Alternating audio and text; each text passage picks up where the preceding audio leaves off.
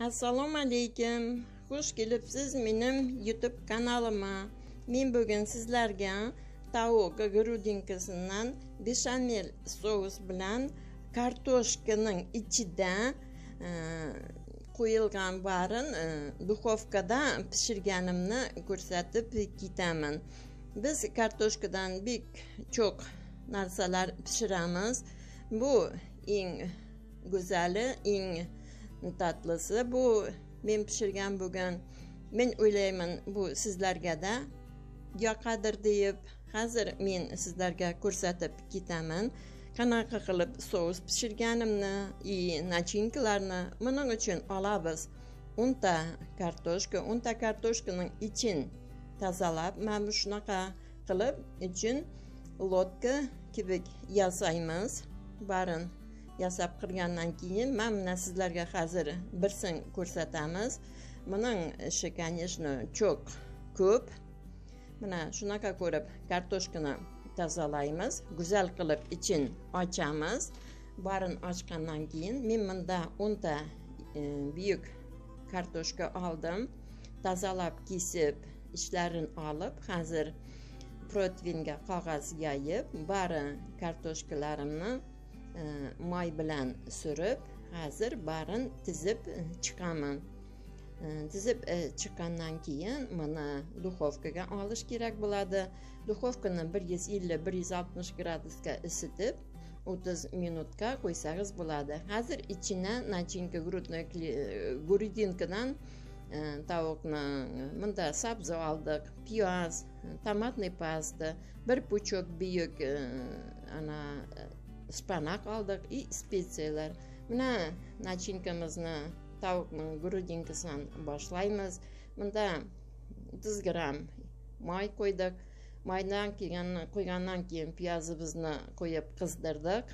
Оның үстіне тауықтың грудинкаларын кесілгенін қойдық қазір сабзымызды қыздырамыз. Барын аз азгina қыздырып ә, етіп аламыз. Мында бір пучок spanak olgan edik ani ham qo'ydik mana tomatniy pastani qo'ydik buni big niq cho'k pishirmaymiz потому что duxovkani ichida yana bu pishadi hozir spetsiyalarni oldik qora qizil qalampir paprika zira и tuzni olib barini qo'yib duxovka bizning plitamizni qapatib qo'ydik hozir sovich uchun sariyo olamiz bunda bir qoshiq sariyo примерно o'ttiz gramm bo'ladi bu. Unga bir qoshiq un qo'shib buni pishiramiz. Bu sous bo'ladi bu beshamel sous deb ataladi. Uni pishgancha shunaqa qizdiramiz. Undan bir bokal sut qo'yib uni tag'in pishiramiz. Pishirgandan keyin ustiga bir chayniy qoshiq qora qalampir bilan ozgina tuz qo'shamiz. Mana bizning sousimiz tayyor nachinkamizni da pishirib qo'ydik mana kartoshkalarimiz o'zina keldi hozir buning ichine birinchi kуриный грудкаларni pishirganin qo'yamiz bunda biz shpanaq qo'shdik sabzi qo'shdik piyoz qo'shdik spetsiyalar barin hozir go'zal chiroyli qilib kartoshkalarimizni ichini mana shunaqa qo'yib chiqamiz qo'yib chiqqandan keyin ustiga beshamel sous pishirgan edik. Un sut bilan moy bilan shularni ustiga qo'ygandan keyin yana yuz gramm bizga kerak bo'ladi sir sirni terkadan o'tkazib beshamel sousning ustiga keyin qo'yamiz. Mana hozir men bari bizni pishganini qo'ydim. Hozir pishirgan sousimizni ustiga qo'yamiz.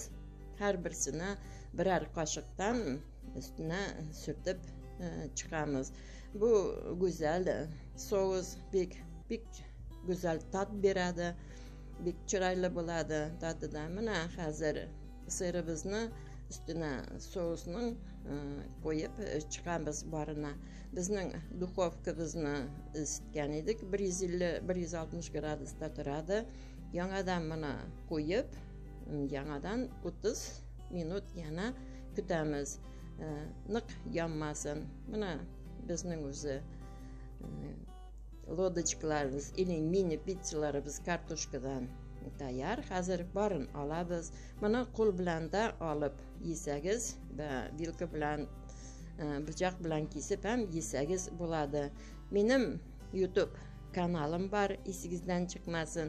Anda menim bek ko'p retseptlarim kartoshkalar turida salatlar turida ruletlar turida barisi bor.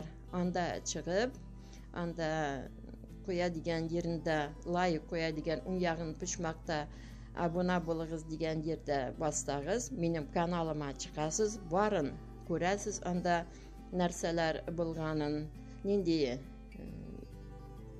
рецептлар бар екен жаңа рецептлар түрік рецептлары бек көп сіздерге мен тілеймін яқымлы іштаға егер мен бүгін пішірген картошкам яқса абона болың сау саламат болың